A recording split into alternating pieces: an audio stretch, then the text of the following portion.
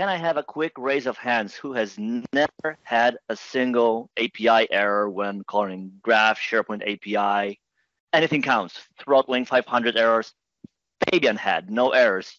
AC no errors. I believe you guys have never been building anything. I see you there.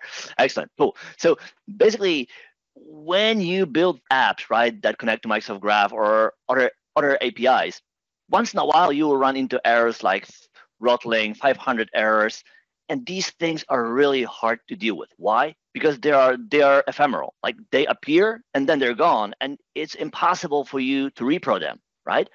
At least it wasn't possible until now, right? Because now we have the Microsoft Graph Developer Proxy that allows you to simulate these errors both on Microsoft Graph but also on any other API that you might use. And in this example, I'm going to actually show you both, right? So right now, I'm going to walk you through a simple app, right? really a web part that you can see now on a screen that shows the title of the current site using um, REST API, and then uses Graph Me endpoint to show info about the user that is currently authenticated, right? And how would that work? And how would the web part behave like if it ran into uh, throttling or other errors? Okay, so on the screen, you see the web part that shows two things, the title of the site and info about me. The way it's built is really simple. It doesn't get any easier than that, right? So in uh, SharePoint Framework 116.1, I can use the uh, Microsoft Graph JavaScript SDK v3. And basically from there, I get a client. I don't need to do any auth. I get all of that already uh, for free from SPFX. And I do a simple call to endpoint me to get info about me. And I show that on a page. So this is this block, which you see here. Then on top, I show the title of the site, and I do that by calling the uh, SharePoint REST endpoint in here. I call web, and from that I get a title, and I show this on a page. Like it all works. It doesn't get any easier than that, right? So it works, right? Like you can ship that that production, right? What would be? How would the web part work like if it would run into throttling? So let's test that let me start the, mm, the Microsoft Graph Developer Proxy, and I want to only test the 429s, too many errors. Every error is one too many. Too many requests error, right? And I don't want to do any any mocks, and I want to be be quite certain that I will see errors, right? Because like that's what we are here for. So let me do that. Let me uh, start it, and then it's available now. And then let me start new window of Chrome to which I can attach a proxy, right? Because if I were to uh, do that with Edge, I would need to enable it on my OS, which would mean you wouldn't be able to see anything because Teams also needs Graph, right? So that wouldn't make a great demo. Uh, let me see, let me see, let me see. Where is my window? Here's my window. Let me grab the URL. Let me paste it in Chrome. Three, two, one. We should be seeing Workbench. Will we actually see anything? And we won't see anything. Why? Because we are already intercepting all, all requests. And if I refresh that, you maybe you will see it again, maybe not. Let me see that. Right, so here are already errors that we intercept and we simulate 429. So the workbench couldn't load. Well, that doesn't really help us, right? So let me adjust the proxy a little so that it will only simulate the error on the API that that that we want to use, and we will we will get back to how we want to like what ideas do we have to make it more uh, or easier for you to use. So let me uh, stop it here. Let me get back to the config, and in here we have the list of URLs that we monitor. And here you can see we monitor all SharePoint calls.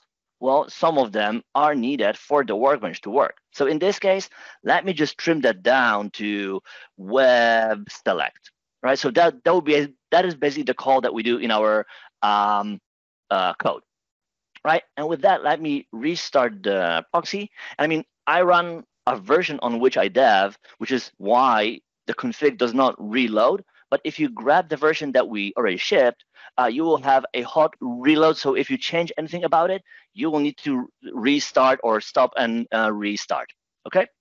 All right. So we're back. Let me reload the workbench. The get client components comes through. That's perfectly fine. We have another 429, but that is irrelevant for now. And now let's add the web part to our page. Okay, so this is the web part that we have. 321. Are we getting 429s? Perfect. So we're getting a 429 on me and perfectly fine, right? So this came through eventually. And here we can see in the Microsoft Graph Developer proxy that there was uh, a request, right? We failed it with a 429, but the Microsoft Graph JavaScript SDK handles 429s for you. So in other words, in our code, if we get back to here, this is the only thing we like. We need to do anything more. This just works because that SDK handles 429s for us. So we need to do anything else. What about Disco, right? So what about the SP HTTP client that we use to get the title of the site from uh, the REST API, right? That came through, and I really want to see this fail. So let me reload again. And we will stay here until it will fail. There we go, it failed. It failed, we can see here. So we've got our 429 on retrieving the title of the site, undefined the code fail, and we will not recover. Why? Because SP HTTP client doesn't handle 429s on or any other errors, right? It wraps fetch with auth so that you don't need to authenticate. But other than that, you're on your own. So what would be a reasonable way for you to go about it? Well, you basically have two ways.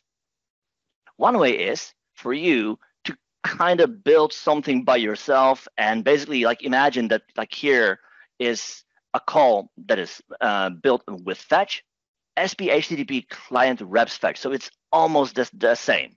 So to add support for 429s to this, well, your fetch code would need to become something like this, right? Where you add a sleep so that, that you can uh, back off for the period of time communicated by the retry after a header. And then you need to like try again until the call will come through, right? So suddenly your call now becomes a bigger call and you need to kind of centralize it, think around it, and so forth and so on, right? Or there's another way. You can also use PNP.js, which is an SDK that calls an API and it can call graph, it can call uh, SPREST, HISAM, and so forth and so on. And it handles 429s for you, so you don't need to do anything. So let me quickly uncomment what I need and comment what I don't need.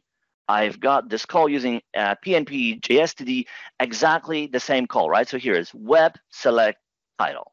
So let me do that. Let me save it. 321, 321 is going to rebuild, recompile, reserve.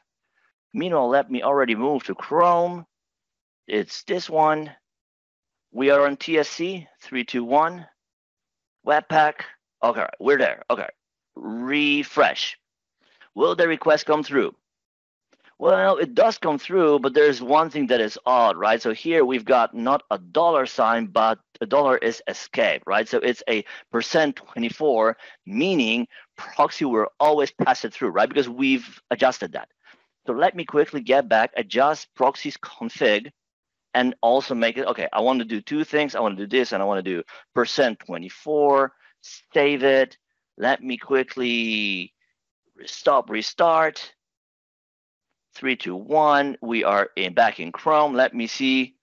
And now we want to see the call to the title of the site fail. Okay, so it failed here. There, there you go. It failed. But there you go. So we have it initially because again, as I said, PNP.js handles four to nines for you so that and you don't need to do anything with that, right? So in your code, all you do is you get a title of a site and there is no handling errors like like all of that is already available to you for free right? And here you can see the first call failed, right? We get a four to nine, and that's coming from a proxy, right? Like we modeled this error. But then there's another call, and that comes through.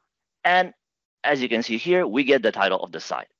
So the cool thing is, right, with that, you have now the ability to test all of that.